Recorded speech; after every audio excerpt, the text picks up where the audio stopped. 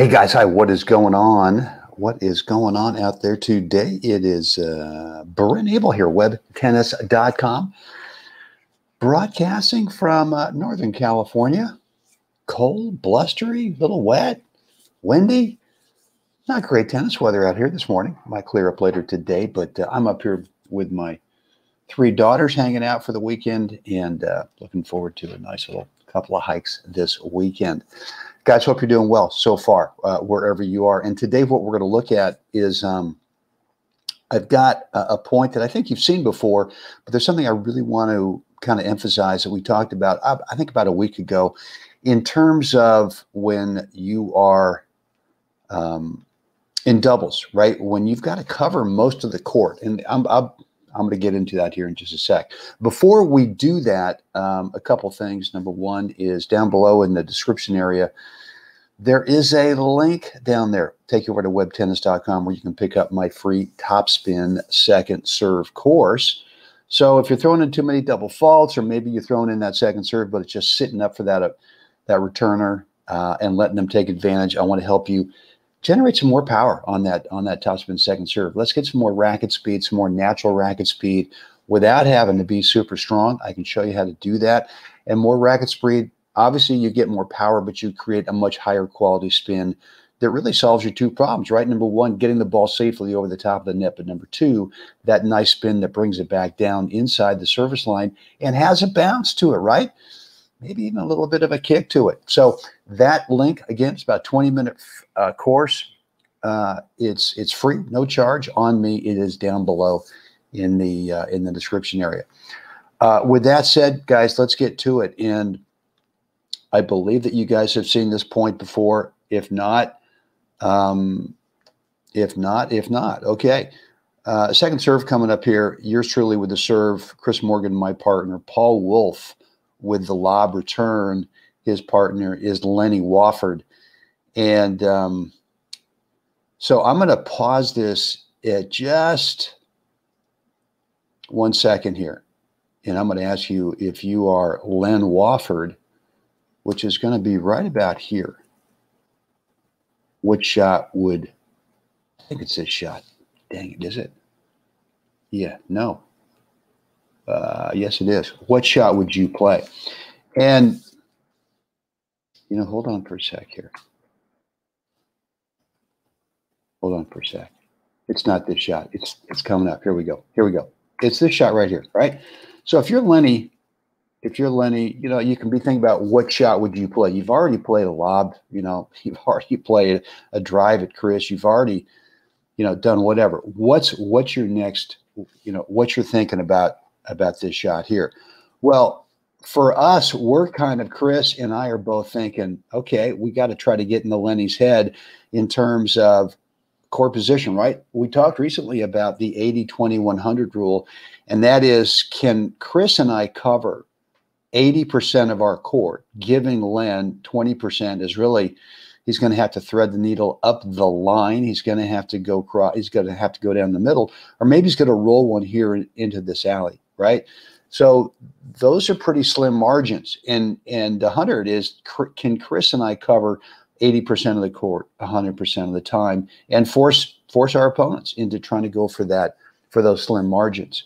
And so part of this 80% is when you guys, right? I'm talking about Chris and and me, when you guys are both up at net, um, the person, in this case, Chris, who is directly in front of the ball, he needs to be at least at least in the middle of his service box, kind of depending on where the ball is here. But the ball's directly in front of him, right? Well, for me, the ball is on the diagonal. And I got to be a little bit behind Chris because, as we mentioned, um, I don't know, 10 days ago in in one of our What's the Right Shot episodes, there's a moment in time when you're cross court from the ball. In this case, this is me. You've actually got to cover most of the court, right? You've got to cover the deep lob because you want your partner not not back here in the service line because that actually geometrically opens up the middle a ton. But what you want is your partner here, and you're going to have to cover over that deep lob. I'm sorry, anyone who says, "Hey, partner, you got to cover all the lobs on your half of the court," let's be realistic. It doesn't work that way, right? So I'm slightly behind Chris. We're not on the same parallel, right? He's he's he's actually in front of me a little bit. I've already he knows, man, and anything he can pick off. Um, obviously, he's going to pick off something here in the alley right at him. But if there's something in the middle that he feels that he can get close enough to, he's got he's got free rein to go ahead and pick that up. I got his back covered with the lob. I've also got to cover the middle because if this if if Lenny hits a drive in here that Chris cannot get to, as kind of our first line of defense, then I got to be able to back him up. And also I've got to be able to cover the roller over here. So you could say that this player who's cross court on the diagonal from the ball at this moment has got to cover about 70% of the court, right? So let's see what Lenny does. Lenny takes this and I think he plays a smart shot, right? He drives it. He drives the forehand. Beautiful looking swing, by the way, into the middle. But it's past Chris. It's just too much. And and like I said before, I've got to cover the middle if that ball gets by him. And so maybe I was looking for it. I don't know. Maybe I played against Lenny enough to kind of know that that there's some little there's some little you know giveaway here in his setup that I just have a just got a hankering hunch that he's going in the middle.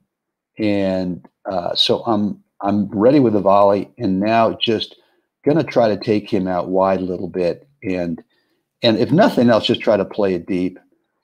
I think you guys have seen what happens here is Chris just kind of cleans up, cleans it up. So, so guys, there you have it. Um, it's really this this this whole episode is about when both of you guys are up at net what's the right court positioning for you. Again, if you're directly in front of the ball, then you're going to be you're going to be in the middle of the service box if not maybe a step in front. If you're on the diagonal you've got to hang back a little bit right? You can't be and we've seen this in other uh, in other episodes where you know i had a lob opportunity here because my opponent was so tight in the net the the obvious shot was not a drive the obvious shot was a lob. So so there you go, right? Court positioning when both of you guys are up in net is absolutely is absolutely crucial. And boom.